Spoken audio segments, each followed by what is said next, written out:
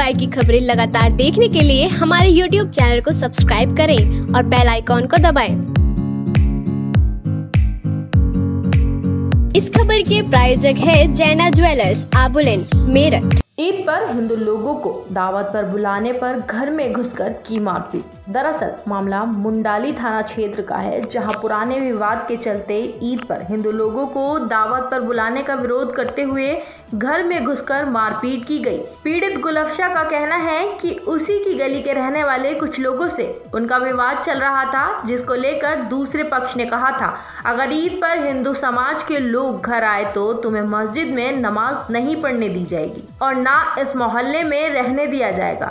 जिस बात को नज़रअंदाज करते हुए महिला के घर वालों ने अपने घर हिंदू लोगों को दावत पर बुला लिया, जिसके बाद आरोपी पक्ष के लोगों ने घर में घुसकर बुरी तरह हंगामा किया और मारपीट की, जिनमें से एक आईसीयू में भर्ती है।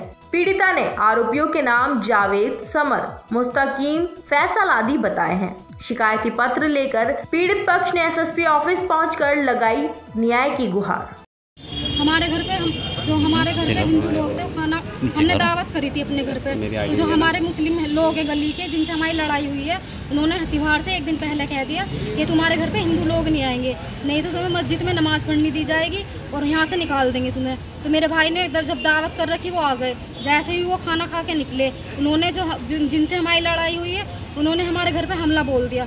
हमारे पाँच छः भैया को मारा और मेरे भैया की एक एक की इतनी सीरियस हालत है वो हालत है वो आई में भर्ती है और लेडी से कोई मारा। मुझे ही मारा बहुत मेरी हाँ ईद की दावत बुलाया था। ईद वाले दिन ही हुआ ये काम। मेरी बहन को भी मारा छोटे छोटे बच्चों को फेंक फेंक के मारा उन्होंने। क्या नाम है? कितने लोग थे मारने वाले? बहुत सारे लोग थे। गाँव के हाँ। डंडे ले लेकर आ रहे हिंदुओं की दावत करी थी अपने हाँ हिंदुओं की दावत करी थी। फिर? और मुसलमानों ने मारा। क्या नाम है उनके? एक का नाम जावेद है सब समर है मुस्तकीम है मुस्तकीम का लड़का थाने में शिकायत करी आपने? थाने में गए थे पर उन्होंने सुनी नहीं बिल्कुल भी। रिपोर्ट दर्ज नहीं करी पैसे खा लिए उन्होंने। कई कई बार गए हमें भगा दिया वहाँ आप भी मुस्लिम हो? हाँ हम भी मुस्लिम हैं। अब क्या कहना है आपको नमाज़ ना पढ़ने? हाँ नमाज़ नहीं पढ़ने देंगे और यहाँ से निकाल देंगे कि मुसलमान हिंदुओं की दावत करोगे तुम। जब हम जावे तो खाएँगे बुलाएँगे ना क्या उन्हें? हम भी तो जाते हैं होली दिवाली को उनके यहाँ पे। तो आज कप्तान से मिली कप्तान साहब ने क्या सुन क्या वो कह रहे कि कार्रवाई करेंगे।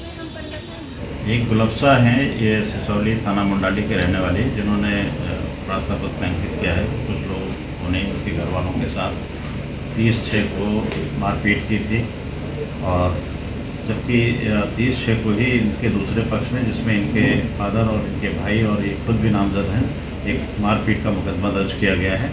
इसमें विधिक कार्रवाई की जा रही है। इनका जो ये आरोप है कि हमें बुलाया अन्य लोगों को बुलाए जाने पर समुदाय के लोगों को बुलाए जाने पर हमारे साथ मारपीट की गई है। ऐसी कोई सूचना थाने पर नहीं दी गई थी तत्समय। प्रार्थना पत्र प्राप्त हुआ, उसकी पूरी जाँच की जा रही है। अगर ऐसा कुछ पाया जाएगा तो अधिक कार्रवाई की जाएगी। उसमें तीस तारीख को मारपीट इनके साथ इनके द्वारा करने के आधार पर मुकदमा पंजीकृत किया गया। इस खबर में फ़िलहाल इतना ही। आप देखते रहिए फ़र्स्ट बाइट